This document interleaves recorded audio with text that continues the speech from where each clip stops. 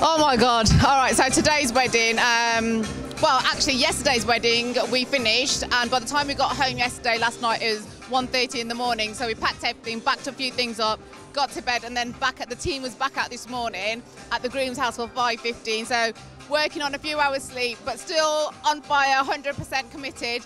Um, started off in Wolverhampton, uh, the most amazing groom, the most amazing family. Um, I did the sister's wedding donkeys years ago, so um, so it's like really nice to come back to the family.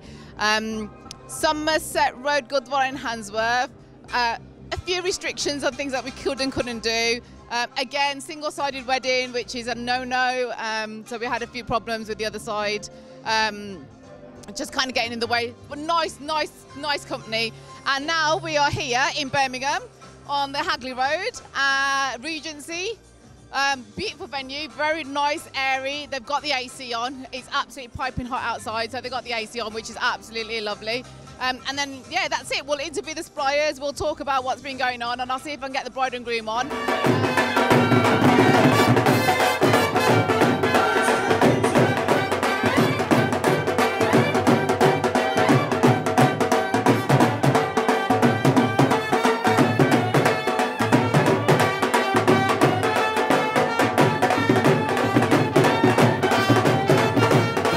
This moment, please, no interruptions. We've got the camera team around the edge of the dance floor that will stop any mussy moving forward. I'm sure they will hold you back. The guys from Vid Ego, they secretly all have black belts in kabaddi.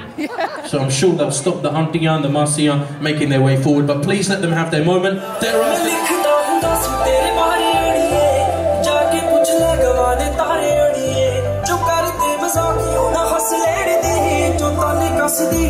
cosledo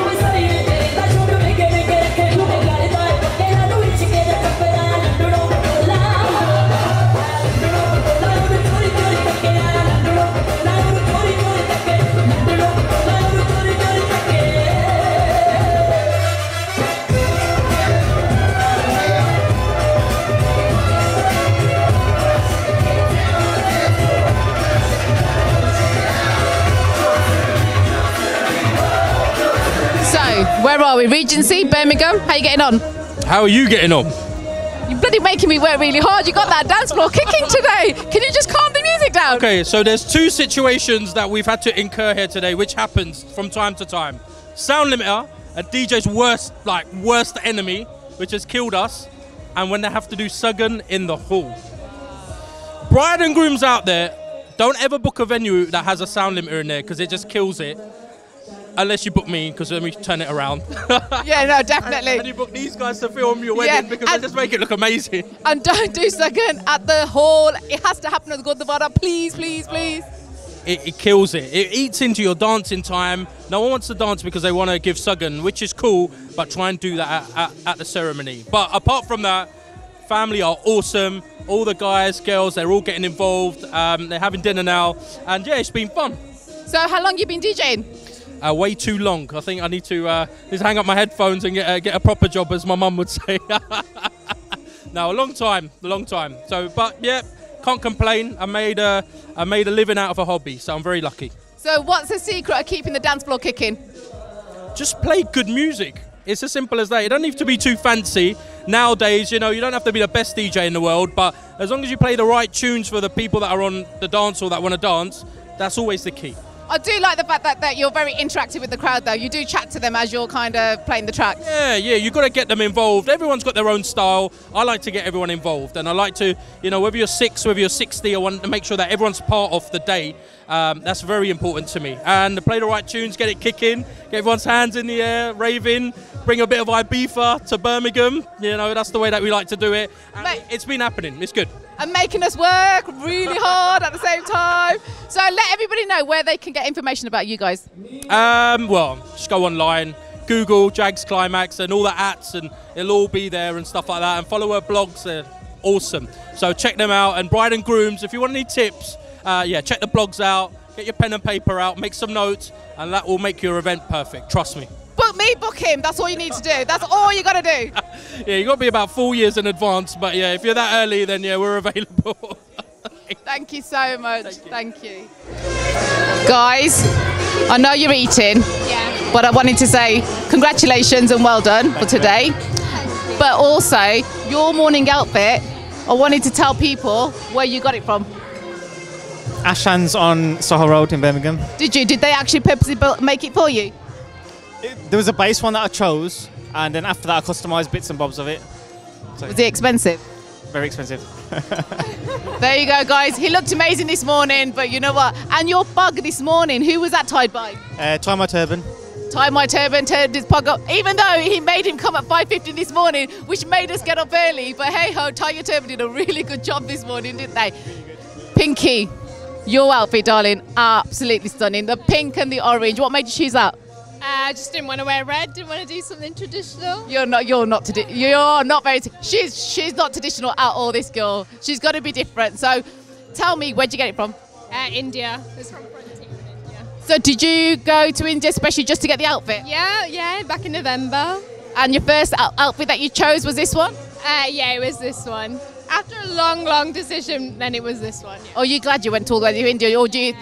Yeah, yeah, of course. I wouldn't have changed it. No. Oh, so what about advice to anybody who's booking a wedding? What do you reckon? Anything that you shouldn't have done today, or what do you reckon looking back now? Um, Don't stress about timing. Everything's just gonna happen. It's fine.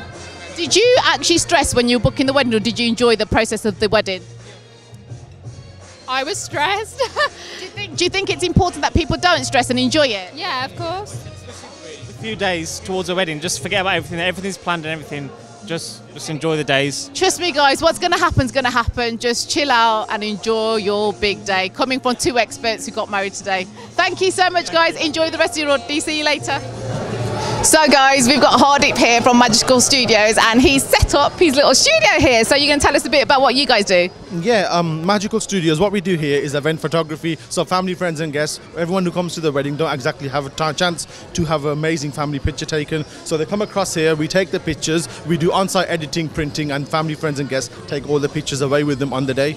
Excellent. And then what happens? Do like the families pay for these individually? Do the bride and groom pay for this? What, how, how does it all work? Um, obviously, for, for this wedding specifically, family, friends, and guests will be purchasing their own images, but it works uh, anyway because obviously brides and grooms can get vouchers or they can have the guests to just purchase their images as they're here today. How busy do you get then? very busy. I mean, I'm sure you two see us more than anything. I mean, every weekend we're out and about covering all sorts of weddings. Do you not get like your main photographers that are actually working on the main day come up to you and go, ah, "What are you guys doing here?" No, I mean, you, you don't now because obviously you get to mingle, tingle with all photographers. Everyone understands what you do, so no one's te- no one's actually step toeing on each other. You see, so the main photographers cover the bride and groom, follow them around, and we're just we're just on our side where we just cover everybody from here. Oh, it's amazing. And will you let everybody know where they can find out a bit more about you guys? Yeah, that'll be magicalstudios.co.uk, or you can see us on Facebook, Magical Studios. Thank you. Thank you so much. Thanks, dude. Right, so we are here with the Regency's catering team. How are you? I'm fine, thank you. How are you? Yeah, really good. Tell me what you guys do here then. Uh, I'm the head waiter for the Regency Banqueting Suite on the Hagley Road, and we normally in-house catering and we serve the food and uh, we got always uh, serve on the table. Sometimes whatever the uh, uh, guest require, we always try to make them happy. So today then, do you do you mainly do like Indian food or do you do different types of foods? Uh, we normally do Indian and also it's depend on the people what they want and uh, whatever they provided in the kitchen, we always provide this food. Excellent. And um, today's menu then, or Punjabi, English roti, naans, what you got today? ਅੱਜ ਸਾਰਾ ਕੁਝ ਪੰਜਾਬੀ ਆਏਗਾ ਵਿੱਚ ਨਾਨ ਆਏਗੇ ਚਨੇ ਆਣਗੇ starter ਆਣਗੇ ਸਮੋਸੇ veg ਔਰ ਨਾਨ ਵੈਜ ਸਾਰਾ sounds delicious. So we'll obviously get to try that food a little bit later and tell you what we think of that. So uh, let everybody know about Regency, where they can get more details of Regency. Okay, you can come. Uh, you can get the uh, detail from the reception and also you can uh, find us on the website Regency Banqueting Suite on Hagley Road. Oh, excellent, guys. Beautiful venue, to be fair. It's nice, bright, airy. Thank you so much. Welcome, no problem. All right. So today, this is the other team, photographer. Do you want to introduce yourself? Hi guys, it's uh, Manny Uppal from SV Photo and Cinema, and it's good to be here today. So, Manny, right? We try not to work with other photographers and other videographers. We find it very difficult. But today it's absolutely a really good pleasure actually to work alongside you. You've been um, a pleasure to kind of have there. Um, the only thing I probably would say is you are looking too smart compared to my team who come out in like t-shirts and raggy clothes and stuff like that just for comfort.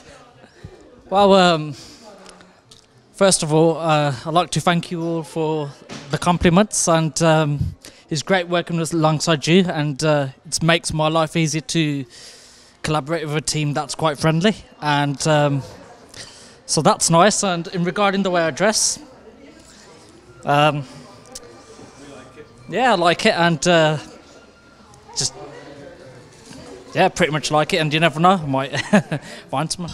Um, do you want to let everybody know where to find details about your company then? Yeah, sure. You could find us on Facebook as well, and um, Manny Uppal, and the Facebook page is SV and Cinema. That's photography, videography, and cinematography. And our website as well, it's uh, starvideoproductions.co.uk. And um, we're based in Oldbury. Oh, thank you so much. Thank you. Yep, it's a pleasure to um, be interviewed by you guys. Ah, thanks. Done.